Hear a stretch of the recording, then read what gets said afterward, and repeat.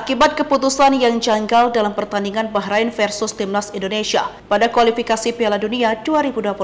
Wasid Ahmed Al-Kaf diminta dipecat dari pekerjaannya. Permintaan itu disampaikan penggemar Timnas Indonesia dengan membuat petisi pada laman cheng.org tidak tanggung-tanggung. Terdapat dua petisi yang ingin Al-Kaf dipecat dari perwasitan. Timnas Indonesia meraih hasil imbang menyakitkan 2-2 saat lawan Bahrain di Stadion Nasional pada Kamis 10 Oktober 2024. Hasil imbang itu tidak lain dari sejumlah keputusan kontroversial Wasid Ahmad Al-Kaf Wasit asal Oman itu memberikan waktu injury time yang cukup panjang, 6 menit meski tidak banyak insiden terjadi pada babak kedua. Setelah memberikan tambahan waktu 6 menit, Alkaf baru menghentikan laga pada 90 lewat 9 setelah Bahrain mencetak gol penyeimbang. Insiden itu memicu kekesalan penggemar Indonesia. Dua dari supporter Indonesia membuat petisi agar Ahmed Alkaf kehilangan pekerjaannya itu.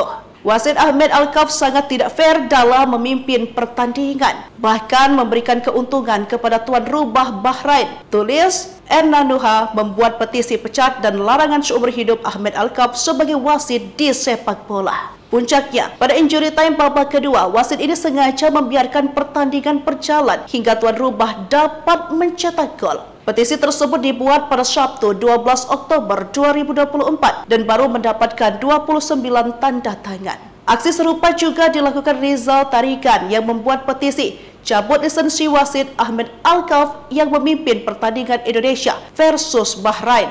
Petisi Rizal itu pun dibuat lebih dulu pada Jumat 11 Oktober, akan tetapi baru menerima 20 tanda tangan. Rizal memiliki alasan yang sama dengan Erin Nuha, yakni tidak terima dengan keputusan Al-Kaf.